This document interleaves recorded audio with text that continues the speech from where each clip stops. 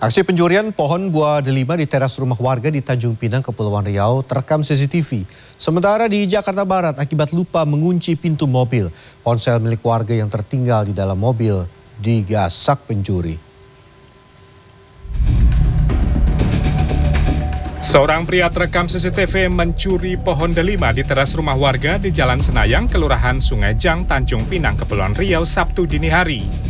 Dengan memakai topi dan penutup wajah, pelaku menggunakan baju panjang, datang dari belakang rumah lalu mengambil pohon delima kemudian melarikan diri. Menurut korban, kasus pencurian di rumahnya sudah terjadi dua kali. Sebelumnya tahun lalu pencurian di tempat dupa untuk ibadah juga hilang dicuri orang. Supaya ada efek jerah, korban memviralkan rekaman CCTV pencurian yang dilakukan pelaku di media sosial. Rekaman CCTV ini memperlihatkan seorang pria yang hendak mencuri barang-barang berharga yang berada di dalam mobil di kawasan Jalan Meruya, Kembangan, Jakarta Barat, Jumat pagi. Pelaku beraksi seorang diri memanfaatkan korban yang sedang tertidur pulas di dalam kendaraan dan pintu mobil korban dalam kondisi tidak terkunci. Pelaku menggasak ponsel dan meninggalkan lokasi. Atas peristiwa ini, korban mengalami kerugian hingga jutaan rupiah.